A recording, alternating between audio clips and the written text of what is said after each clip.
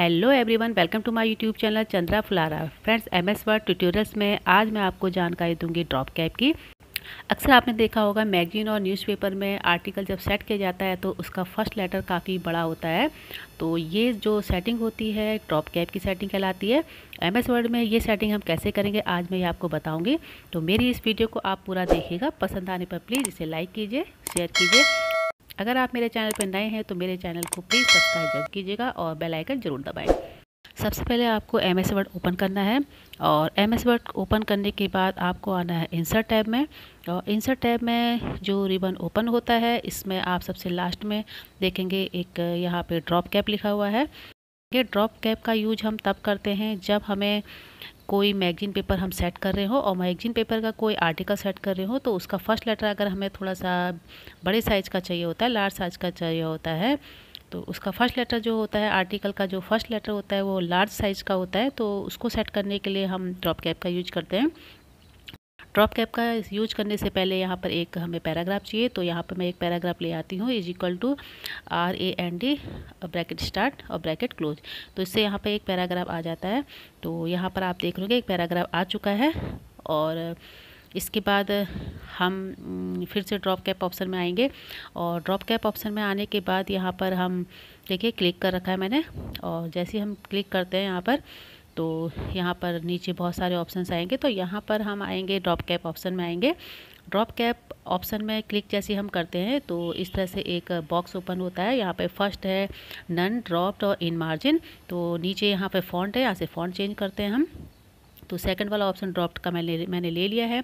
Font से हम यहाँ पे अपना फ़ॉन्ट चेंज करेंगे। जो आपको फ़ॉन्ट पसंद है आप वो फ़ॉन्ट ले सकते हैं। तो यहाँ से देखिए मैं फ़ॉन्ट चेंज कर रही हूँ।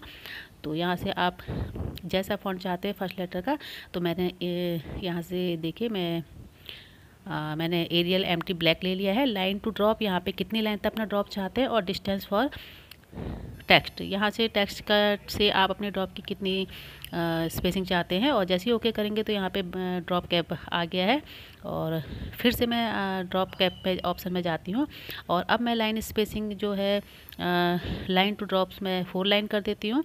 तो फोर लाइन में जैसे ही मैं क्लिक करती हूँ और distance from text zero point five कर दिया है मैंने ओके करती हूँ। तो आप देखेंगे टेक्स्ट से ड्रॉप कैप हाफ़ इंच दूरी पे हो गया है और चार लाइन तक हमारा ड्रॉप कैप आ चुका है।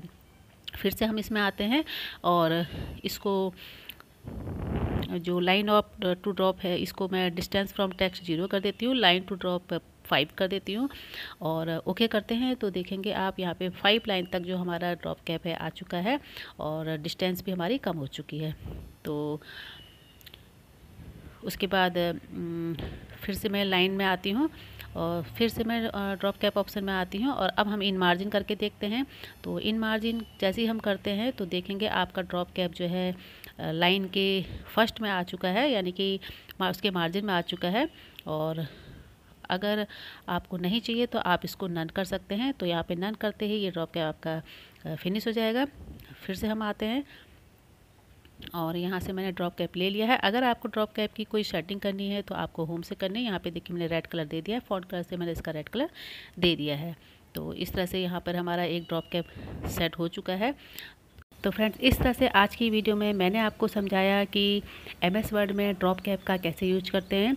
अगर आपको मेरी ये वीडियो पसंद आई तो प्लीज़ इसे लाइक कीजिए, शेयर कीजिए, सब्सक्राइब कीजिए और बेल आइकन ज़रूर दबाएँ। मिलती हूँ आपसे एक नई वीडियो के साथ, एक नई जानकारी के साथ। तब तक के लिए थैंक्स बाय टेक केयर